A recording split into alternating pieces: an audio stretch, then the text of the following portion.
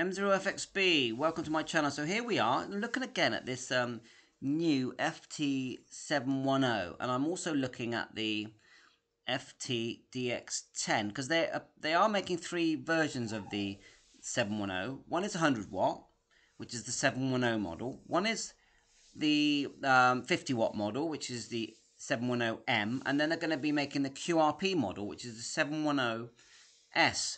So what I'm interested in is are they going to discontinue the FTDX10 because it looks like they're bringing out a 100 watt version which to me looks identical uh, you know very very similar.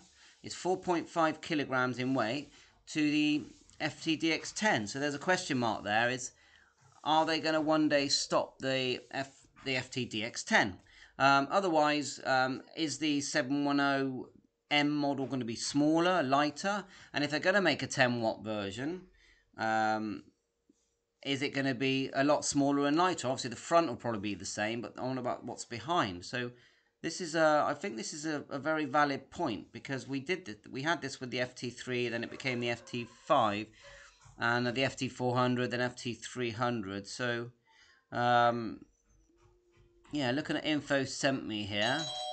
So right, there goes the doorbell. So 7-3, thanks for watching your channel, for my channel. Catch you on air, all the best.